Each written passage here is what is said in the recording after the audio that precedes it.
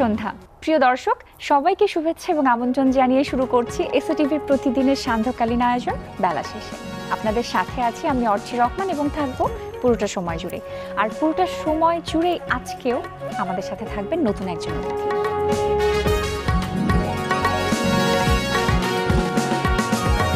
প্রিয় দর্শক, আজ আমাদের সাথে স্টুডিওতে আছেন অভিনয় শিল্পী তাহমিনা অথই। চলে যাচ্ছি তার কাছে। কেমন আছেন অথই? খুব ভালো আছি। অনেক অনেক শুভেচ্ছা এবং আমন্ত্রণ জানাচ্ছি আমাদের বেলা শেষের আয়োজনে। আপনাদেরকেও শুভেচ্ছা আমাকে এই সন্ধ্যায় আমন্ত্রণ করার জন্য। অনেক অনেক ধন্যবাদ এবং আপনাকে পেয়ে ভালো লাগছে। নতুন নতুন কাজগুলো সম্পর্কে জানতে পারব কারণ যতটুকু জানি দুটা তিনটা মুভির কাজ হচ্ছে বা এখনও রিলিজ হয়নি সবকিছু মিলিয়ে একটা ব্যস্ততার মধ্যে আসলে সময় কাটছে। তো আপনার মুখেই শুনি কি কি কাজ নিয়ে এই মুহূর্তে আসলে ব্যস্ত আছে এই মুহূর্তে ব্যস্ত আছি ছেলেটি অদ্ভুত নামে একটি চলচ্চিত্র নিয়ে। এটার পঞ্চাশ পার্সেন্ট কাজ শেষ হয়ে গেছে। আচ্ছা। আর বাকি পঞ্চাশ পার্সেন্ট কাজ আমরা শেষ করব নভেম্বরের মধ্যে শেষ হয়ে যাবে। আচ্ছা। এই বছরে কি কোনোটা রিলিজ দেওয়ার পরিকল্পনা আছে? না এই বছর রিলিজ দেওয়ার পরিকল্পনা নেই। আচ্ছা। আমার ফিল্ম কালবেলা আপনি তো জানেন কালবেলা। করেছি ওটা আগামী বছর রিলিজ হবে এবং ছেলেটি অদ্ভুত আগামী আগামী বছর আসবে। প্রথমে কোনটা আসবে? মনে হয় কালবেলাটা আপনার প্রথম চলচ্চিত্র। সেটাই কি প্রথম আসতে যাচ্ছে? হ্যাঁ প্রথম আমি যখন কাজ করেছিলাম স্যারের সাথে সাইদুনাম টুটুল মানে ওনাকে আমি কথা দিয়েছিলাম যে আমার এই ফিল্মটাই আগে আসবে আগে রিলিজ আচ্ছা। হবে। আচ্ছা। তো আমি চাই যে আমার এই ফিল্মটাই এই আগে ফিল্মটাই আসুক। আগে আসুক। যেহেতু প্রথম একটা চলচ্চিত্র সেটার অনুভূতিটা আসলে অন্যরকম বলতেই হয়। আর সেটার সাথে আরও অনেক স্মৃতি অনেক কিছুই জড়িয়ে আছে। সে প্রসঙ্গে আসব চলচ্চিত্র নিয়ে আসলে অনেক কিছুই জানবার আছে সেগুলো নিয়ে শুনব। তবে তার আগে এই ঈদের কিছু কাজের কথা একটু জানতে চাচ্ছি। কি কি কাজ ছিল? কেমন হয়েছে সেগুলো? ঈদে আসলে সিনেমার কারণে অনেক কাজ করতে করা পারিনি তবে আপনাদের চ্যানেলে একটি কাজ করেছি হ্যাঁ। টেলিফিল্ম প্রেম জানাক প্রজাপতি। আচ্ছা এটা কি পুরো পুরোদস্তু রোমান্টিক ধাঁচের ছিল? এটা আসলে খুব ইন্টারেস্টিং একটা গল্প ছিল। মানিক আচ্ছা। মানবিক পরিচালনায় ছিলেন। গল্পটা এমন ছিল যে উম, বাস্তবে জীবনে কি হয় আমরা অনেক সময় অনেক হতাশায় ভুগি বা অনেক সময় হয় না যে আমরা এমন কিছু কাজ করি যেটা আমাদের মধ্যে একটা অনুশোচনা তৈরি করে, হ্যাঁ। তৈরি করে যে আমি এটা করেছি আসলে এটা করা উচিত হয়নি কি হবে? বা অনেকে দেখা যাচ্ছে যে আত্মহত্যা করতে তো হ্যাঁ। এমন একটা গল্প যে একটা ছেলে এবং একটা মেয়ে তারা তাদের জীবনে এমন কিছু কাজ করেছে যাদের তাদের মধ্যে অনুশোচনা বোধ হয় এবং তারা আচ্ছা। আত্মহত্যার ডিসিশন নেয়। আচ্ছা। আপনার বিপরীতে কে ছিলেন যে নায়কের ভূমিকায় কে ছিলেন? জি আমার বিপরীতে ছিলেন শাহেদ শরীফ খান। আচ্ছা। উনি ডক্টরের চরিত্র করছিলেন। তো আমি যখন আত্মহত্যা করতে যাই যখন আমি ঝাঁপ দেব পানিতে তখনই মানে ভাইয়া একটা কথা বলেন যে আত্মহত্যা করে কি লাভ? হ্যাঁ। মানে সেই সময়টাই ফার্স্ট দেখা হয়েছে হ্যাঁ, এরকম একটা সময়। ফার্স্ট দেখা হয়। তো তখন না আমার মধ্যে যে কে আমাকে বলতে আসছে মানে এরকম তখন থেকে আসলে আস্তে আস্তে আমাদের সেইটা আহ, আস্তে আস্তে পথ চলা এবং কথা বলতে বলতে আমরা সিদ্ধান্ত নিই যে আমরা আত্মহত্যা করব না।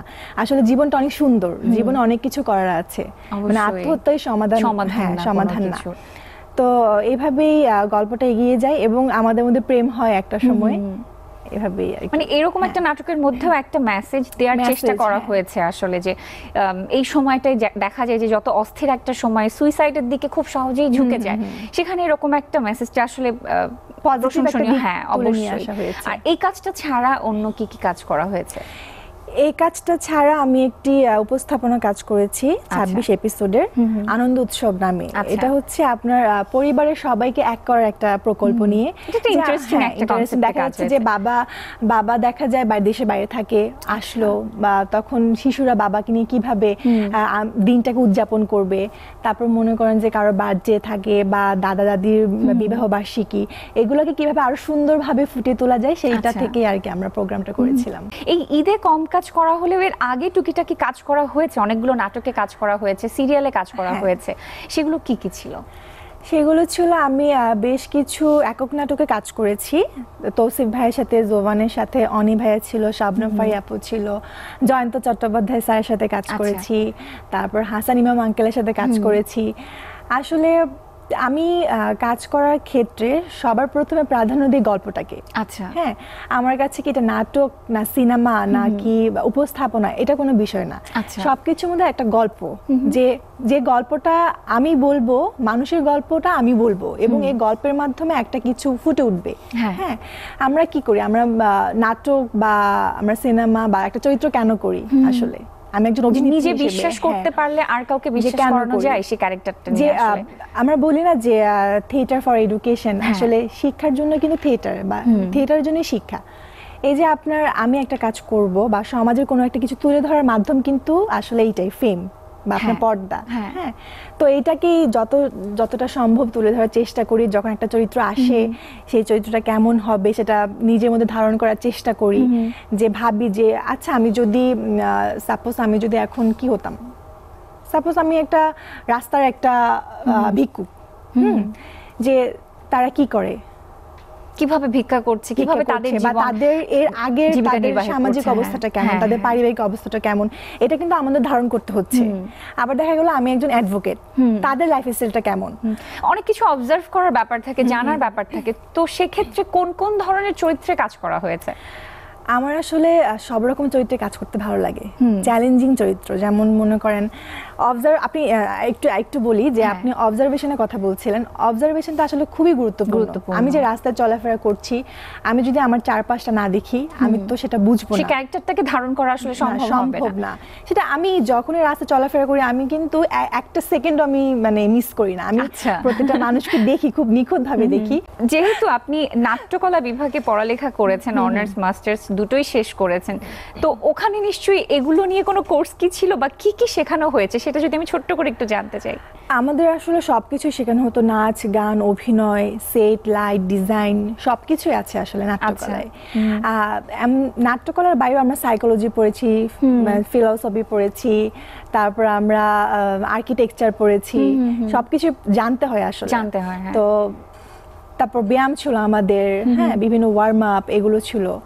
তো সেক্ষেত্রে আমার কাছে মনে হয় যে মানে আমাদের মূল যেটা যেটা সেটা হচ্ছে অভিনয় এবং ডিরেকশন আচ্ছা। এবং প্লে রাইট দুটো এই দুটো বেশি প্রাধান্য দেওয়া হয়েছে হ্যাঁ, অভিনয় ডিরেকশন। প্লে রাইট আচ্ছা, আচ্ছা, তিনটা। যে যারা যারা মনে করেন যে স্ক্রিপ্ট লিখতে চায় হ্যাঁ গল্প লিখতে চায় তাদের জন্য একটা আলাদা কোর্স আছে যারা অভিনয় নিয়ে কাজ করতে চায় তাদের জন্য একটা আলাদা কোর্স আছে। যারা পরিচালনা যেতে চায় আচ্ছা। তাদের জন্য একটা আলাদা কোর্স আছে। এবং আমাদের অনার্স শেষে মাস্টার্সে যখন যাই তখন আমাদের টেলিভিশন অ্যান্ড মিডিয়া নামে একটা কোর্স আছে হ্যাঁ। আচ্ছা। নাট্যকলার যে ব্যাপারটা আসলে অনেক বিস্তৃত এবং অনেক কিছুই আসলে জানার শেখার সেটা নিয়ে আরও কিছু জানবার আছে তবে ছোট্ট একটা বিরতির সময় হয়ে গেছে। প্রিয় দর্শক নিয়ে নিচ্ছে এখানে ছোট্ট একটা বিরতি কোথাও যাবেন না আমাদের সাথেই থাকবেন।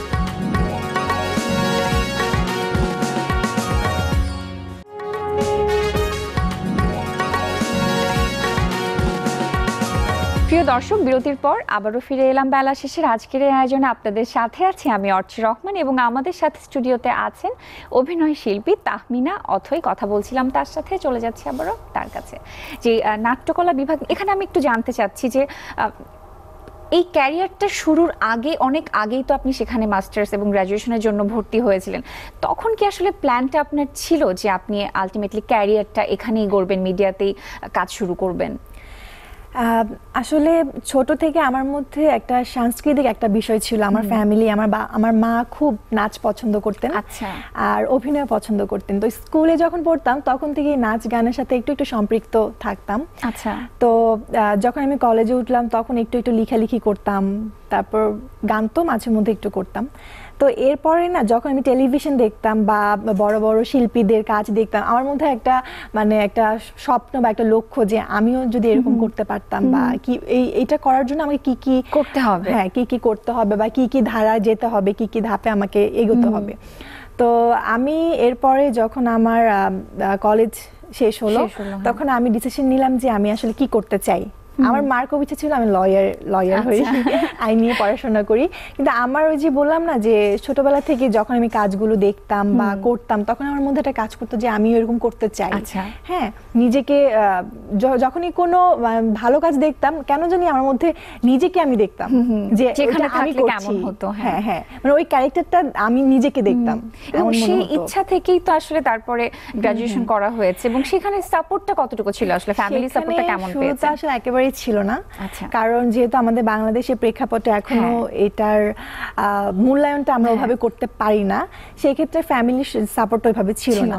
মা ছিল খুব আইন নিয়ে পড়ি বাবা ছিল বাবার ইচ্ছা ছিল আমি বিবিএ তে পড়াশোনা করি তো এখানে মানে আমি যেভাবে আসলে বাবা মারা চিন্তা করে হ্যাঁ, থাকে যে একটা সাধারণ জবে যাবে নটা পাঁচটার জবে থাকবে সেই লাইফটা আসলে ওই সময়টাতে আপনাকে অনেক স্ট্রাগল করতে হয়েছে স্ট্রাগল করতে তার পরবর্তী সময়ে যখন আপনি কম্পিটিশনটায় গেলেন ওয়ার্ল্ড মিস ইউনিভার্সিটি টু সেই সময়টাতে আসলে কি ভাবনা ছিল? কি ভেবেছিলেন? প্রথম রেজিস্ট্রেশনের সময়টায় কি ভাবনা কাজ করেছিল? আচ্ছা আমার যে কম্পিটিশনটা সেটা হচ্ছে আমার স্টাডি কালার অনেক পরের বিষয় আর কি। আমি আচ্ছা। এখানে একটু ছোট্ট করে একটা লাইন বলতে চাই। সেটা হচ্ছে আমি যখন বিশ্ববিদ্যালয়ে অ্যাডমিশন দিই তখন আমি ইংলিশে এবং বাংলায় হুম আচ্ছা। এবং ইকোনমিক্সে এক্সাম দিয়েছিলাম। আচ্ছা। তো নাট্যকলা আমি ফর্ম যখন নিয়েছি আমি বাসায় জানাইনি। আচ্ছা। জানাইনি তো এক পর্যায়ে আমি যখন পরীক্ষা দিলাম আমার দেখা গেল আমার ইংলিশও চলে আসলো বাংলায়ও চলে আসলো। এখন আচ্ছা। কি করব? নাট্যকলায় চলে আসলো। এখন আমি কোথায় ভর্তি হব এটা নিয়ে খুব বাসায় তো বাসায় আমি আসলে জানাইনি বাকিগুলো আমি প্রথমটা লুকানোই ছিল। আচ্ছা। যে মা এখন আমার নাট্যকলায় এসেছে এখন বিশ্ববিদ্যালয়ে সব সাবজেক্টতেই আমি নাট্যকলায় পড়তে চাই। আচ্ছা। তো আম্মু বলল যে ঠিক আছে তুমি তাহলে ভর্তি হয় সামনে বছর আবার কোথাও ট্রাই করো। আর কম্পিটিশনে যখন রেজিস্ট্রেশন করলেন তখন কতটা বাধা এসেছিল বা কীভাবে আপনি এগোলেন? আর কম্পিটিশন যেহেতু অনেক পরে বিষয় এর আগে হ্যাঁ। পাঁচ বছর আমি বাসায় অনেক জ্বালিয়েছি আচ্ছা। অনেক কিছু হয়ে গেছে এর মধ্যে। কম্পিটিশন নিয়ে এরপরে আর বাসায় কোনো ঝামেলা ছিল না। তারা একটা পর্যায়ে আমাকে এত সাপোর্ট করতো মানে এখন আমি যা কাজ করছি আসলে ফ্যামিলির সাপোর্ট এই কাজ করছি। আর যেটা জানতে চাচ্ছিলাম যে এই যে কম্পিটিশনটার ব্যাপারে আপনি জেনেছেন বা সেই সময়টা আসলে ভাবনাটা কি ছিল? আচ্ছা কম্পিটিশনটাতে আসলে হুট করেই হয়ে গেছে। যেমন আমি একদিন ফেসবুকিং করছিলাম।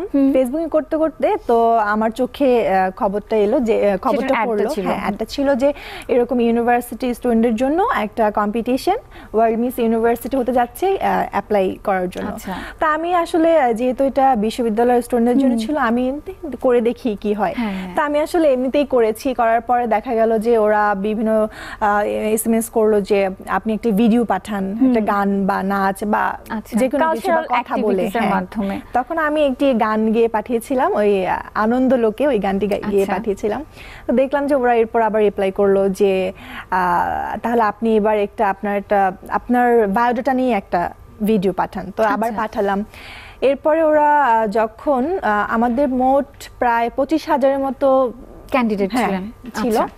তো আম- আমি পরে দেখলাম যে প্রায় দুইশো আমি সিলেক্ট হয়ে গেলাম 200 মধ্যে। জনের হ্যাঁ ছবি টবি পাঠাতে পড়ল পাঠালাম সিলেক্ট হয়ে গেলাম। এরপর যখন আমি ফার্স্ট অডিশনে গেলাম সেটা কোথায় হয়েছিল? চিটাগাঙে হয়েছিল? না ঢাকায় হয়েছিল। আচ্ছা। সেটা ঢাকায় ঢাকায় হয়েছিল। ছিল। আমি চিরং থেকে ঢাকায় ঢাকায় এসেছিলাম অডিশন দেওয়ার জন্য। আচ্ছা। তো অডিশন দিতে গেলাম অডিশন দিয়ে প্রথম দিন আমাকে জিজ্ঞেস করল যে তুমি কোথায় পড়াশোনা করো কি করো কি কি জানো? তো বললাম যে আমি নাট্যকলা থেকে পড়াশোনা করছি এবং নাচ জানি গান কিছুটা জানি আর অভিনয় জানি। তো বলল ঠিক আছে তাহলে নিচে দেখাও। তো আমি নাচ করে দেখালাম ওনারা আর জাজ হিসেবে কাদেরকে পেয়েছিলেন? সেলিব্রিটিদের মধ্যে কেউ ছিলেন না? মডেল মডেল ছিল আচ্ছা। বিভিন্ন তারপর অপূর্ব আব্দুল লতিফ ছিল আচ্ছা, অনেকেই আচ্ছা। ছিলেন তারপর রিজাউল রহমান ওনারা ছিলেন। তো থাকার পরে যখন বললেন যে তুমি একটি নাচ করে দেখো নাচ করে দেখালাম। তারপর ফটো সেশন হলো কিছু তারপর। তারপর তার যখন নাচ করলাম তারপর এরপরে হান্ড্রেডে সিলেক্ট হয়ে গেলাম এইভাবে। তারপর আমাদেরকে বিভিন্ন টাস্ক দেওয়া হতো আবার। আচ্ছা। বিভিন্ন স্পিচ যেমন ইকোনমিক্যাল উপর স্টাডি বেস এক একটা টপিক দিয়ে দেওয়া হতো। তো এইভাবে করে করে আসলে ফর্টি ফর্টি থেকে টোয়েন্টি টোয়েন্টি থেকে টেন টেন থেকে চ্যাম্পিয়ন হয়ে গেলাম। জি। তো এরপর চ্যাম্পিয়ন হওয়ার পরে না আশাটা স্বপ্নটা আরও বেশি ই হয়ে গেল যে এতদিন আমি যা করেছি করেছি। বাংলাদেশে হয়ে করেছি কিন্তু এখন আমি দেশকে রিপ্রেজেন্ট রিপ্রেজেন্ট করা হচ্ছে এবং কম্বোডিয়াতে গিয়েছিলেন। সেখানে এক মাস থেকেছেন।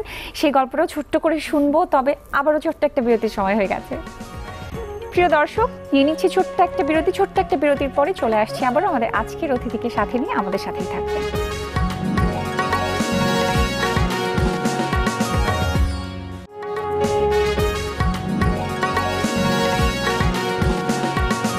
প্রিয় দর্শক, বিরতির পর আবারও ফিরে এলাম বেলা শেষের আজকের এই আয়োজনে। আপনাদের সাথে আছি আমি অর্চি রহমান এবং আমাদের সাথে স্টুডিওতে উপস্থিত আছেন কথা বলছিলাম অভিনয় শিল্পী তাহমিনা অথয়ের সাথে। চলে যাচ্ছি আবারও তার কাছেই। যে গল্পটা শুনছিলাম যে কম্বোডিয়াতে যাওয়ার পরে আসলে অন্যান্য দেশের সবার সাথে দেখা হয়েছে পার্টিসিপেট অন্যান্য ছিলেন। সেখানে কেমন লেগেছে নিজের দেশকে রিপ্রেজেন্ট করতে আসলে কেমন লেগেছে? একশো আটটি দেশ সেখানে পার্টিসিপেট করেছিল। সবার সাথে পরিচয় হলো সবাই এত সুন্দরভাবে ব্যবহার তাদের কথাবার্তা হ্যাঁ ওদের যে কি বলব রিসিপ্টটা খুবই দারুণ ছিল। আমার একটু মনে হয়নি যে আমি আসলে দেশের বাইরে গিয়েছি। মনে হয়েছে আমি একটা ফ্যামিলিতে আছি। আর সেখানকার সবচেয়ে বড় বিষয় যেটা সেটা হচ্ছে মানে সময়। হুম। তারা প্রতিটা সময়কে এত সুন্দরভাবে মূল্যায়ন করে মেনটেন করে সেটা অসাধারণ সেটা আমাদের আসলে হয়- হয়তো হয়ে ওঠে না অনেক সময়। তো সেখানে প্রত্যেকের সাথে কথা কথা বলতাম প্রতিদিন বিভিন্ন টপিক নিয়ে বিভিন্ন ওদের দেশ নিয়ে জানতাম আমার দেশ নিয়ে বলতাম। ওরা আচ্ছা। জিজ্ঞেস করতো যে আশা তোমার বাংলাদেশে আসলে কি আছে বা কি দিয়ে পরিচিত হ্যাঁ। হওয়া যায় কীভাবে হ্যাঁ, আসলে? কীভাবে?